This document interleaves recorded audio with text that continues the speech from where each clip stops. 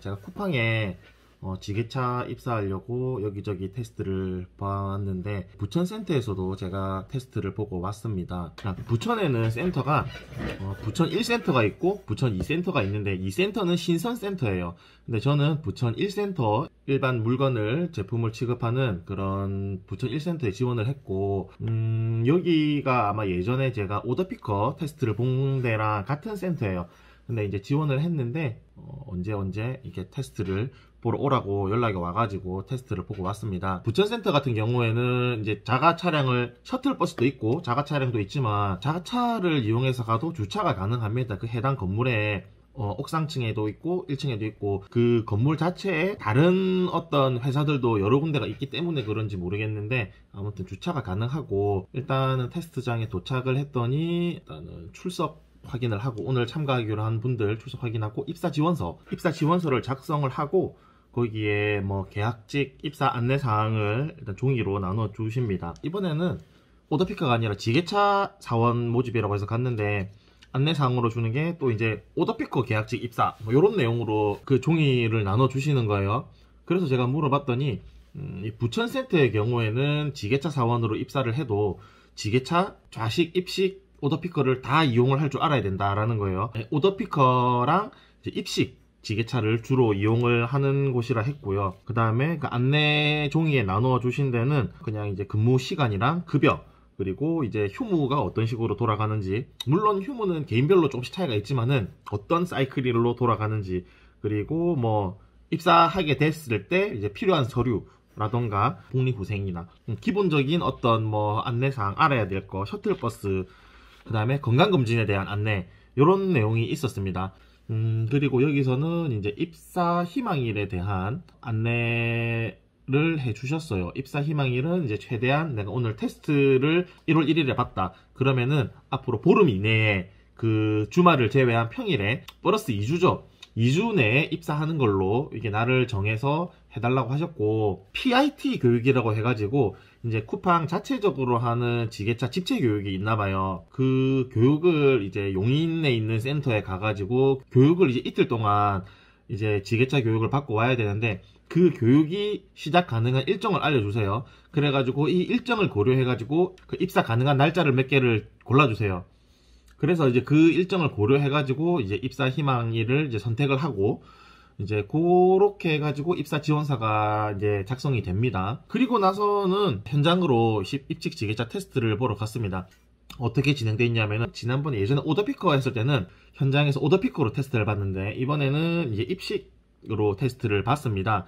그 차이가 아마 입고 파트냐 출고 파트냐에 따라서 좀 차이가 났던 것 같아요. 그래서 지나고 나서 알게 된 거지만 그 당시에 봤던 오더피커로 테스트를 봤던 데는 출고 파트였고 이번에 입식으로 테스트를 본 곳은 입고 파트였던 거예요. 그래서 아무튼 쿠팡 부천 1센터에서 입고 파트의 지게차 사원으로 테스트를 본 겁니다. 그래서 실제로 테스트를 어떻게 진행했냐면은 파레트를 가지고 이제 현장의 바닥에 길을 만들어놔요. 파레트를 양쪽으로 일렬로 쭉 놔가지고 가운데 지게차가 지나갈 수 있는 그러니까 그 실제로 현장의 물류 창고에 보면은 그 선반에 여러 단으로 이렇게 물건이 파레트가 이제 적재가 되어 있잖아요. 그거 정도 넓이 되는 정도로 파레트로 양쪽으로 길을 만들어 놓고 그 가운데 한 칸을 비워놔요. 그래서 거기에 지게차를 타고 가운데 빈 공간에 파레트를 놓고 그리고 차를 뺏고 주차했다가 다시 가서 그 물, 그 파레트를 들고 다시 가져오는 것까지였어요.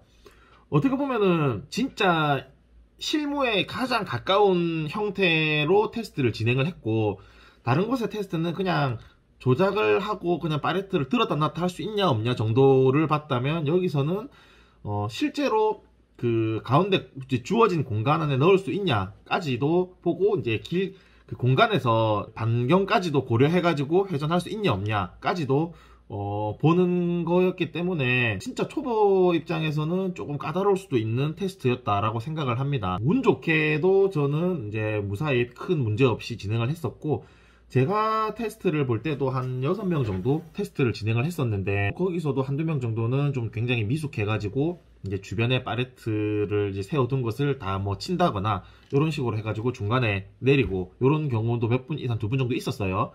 근데 그런 분들의 경우에는 별도로 따로 안내를 안 했지만은 이제 무사히 파레트를 놓고 이제 테스트를 마친 사람은 이제 한쪽으로 따로 불러가지고 그때 이제 그 관리자분께서 따로 면접을 진행을 하시더라고요. 근데 면접이라고 해봤자 크게 대단한 건 아니고 그냥 이렇게 서가지고 진짜 기본적인 거. 저 같은 경우에는 오후 쪽 지원을 했으니까 오후 쪽 시간에 대한 안내라던가 이제 여기 출퇴근 하는 거.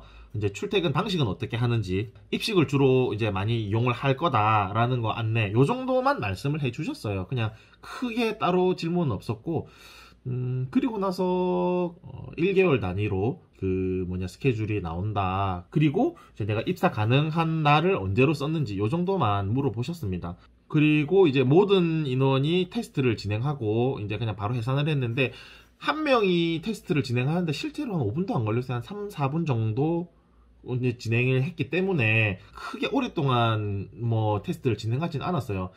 음, 제가 그때 테스트를 보러 간 게 오전에 10시 반에 갔는데 점심 먹기 전에 다 끝나고 돌아왔던 것 같아요. 음, 그래서 어, 테스트 자체가 크게 어렵진 않았고 저 같은 경우에는 집에서도 좀 가까운 편이었기 때문에 어, 뭐 크게 부담 없이 테스트를 진행할 수 있었습니다.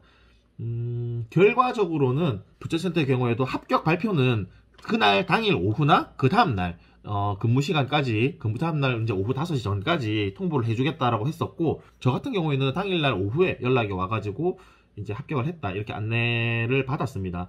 그래서 결과적으로는 이제 부천 1센터에 합격을 했고 지금은 이 영상을 찍는 거는 조금 이제 시간이 지나긴 했지만은 실제로 부천 센터에 입사를 해서 음, 근무를 하고 있습니다. 어, 그래서 이제 다음에는 쿠팡에 대한 다른 이야기를 조금 어, 할 수 있으면 만들어 보도록 하겠습니다.